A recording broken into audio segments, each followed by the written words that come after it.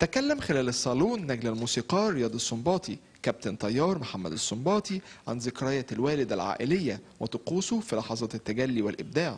كان يتميز بشخصية قوية جدا إلى أقصى الحدود.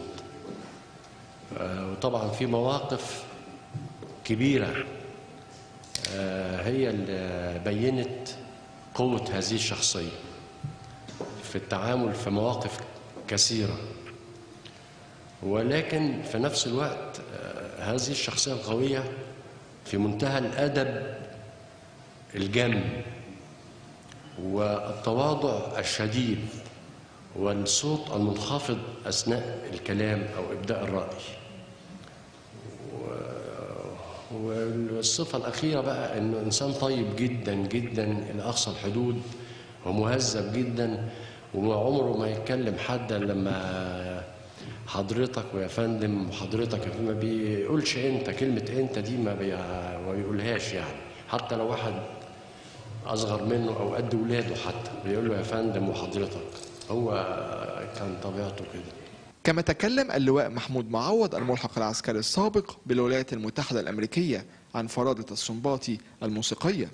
أنا عملت فيلم عن الموسيقار الراحل رياض السنباطي وقبل أن أتك- أتحدث عن هذا أحب بس أن أسجل ملحوظة وأرجو أنها تكون مسجلة في كل مكان. الأستاذة فاطمة قالت أنه آه، كتب إذا أردت أن تتكلم فتصنبط أنا يعني قائل هذه المقولة على قدر علمي. هو فيكتور سحاب شقيق الموسيقار آه، سليم سحاب. لأنه هو يعني مهتم جدا بالشأن الكلثومي. فاخترع هذا المقال ولكني أنا أعترض بشدة على هذا المسمى لأنه في الواقع في ظلم باين لعملاق الموسيقى العربية رياض السنباطي نمرة واحد ولسيدة الغناء العربي أم كلثوم نمرة اثنين.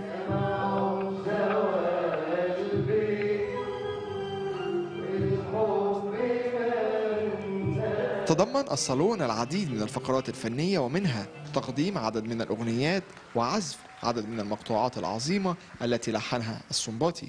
اختتم الصالون بتقديم درع التكريم لضيف الشرف كابتن محمد السنباطي تكريما لروح والده الخالدة. إذا تكلسمت فتصنبط ده عنوان الصالون الثقافي اللي بتنظمه الكاتبة الصحفية فاطمة نعود لشهر أغسطس الذي يعد أشهر صالون ثقافي متواجد في الوقت الحالي. الصالون اتكلم عن عبقرية وإبداع الملحن العظيم رياض السنباطي اللي متعنا وهيفضل حي دايما بألحانه واللي بنتمنى إن هم يعملوا له متحف يضم جميع أدواته اللي بتعتبر كنوز.